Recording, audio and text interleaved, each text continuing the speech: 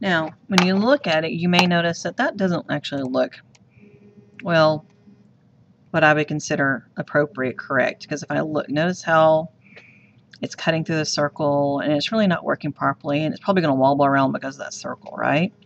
So what we're going to do is we're going to open up that guard again and we're going to do a little correcting to it. So um, guard, open, and I'm going to click on that extrusion. Oh, not that one.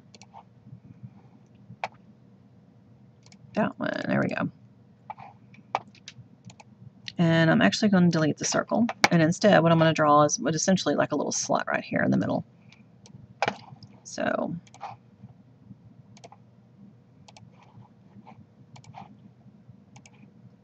from here to here should be 0.926. Okay. Total thickness of this from here to here, 0.96.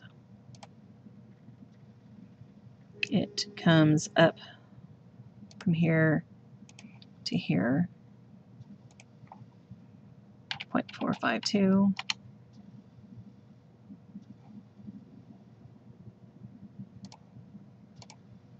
Okay, good. That's exactly where it should be.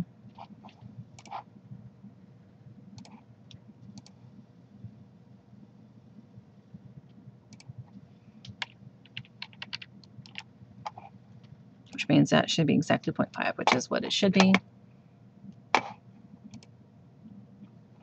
And then I'm going to do in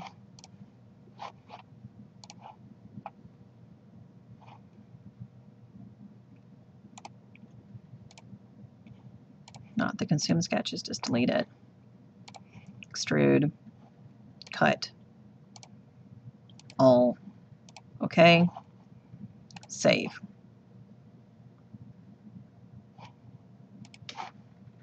Now, final assembly. Now notice, look what happened.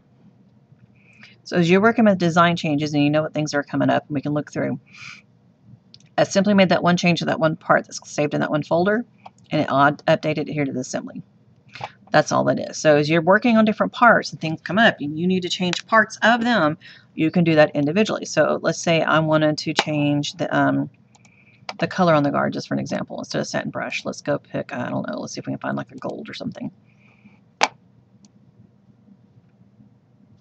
Say titanium polished. Yeah, that works and then I go to that final assembly, see how it's notice it's changed.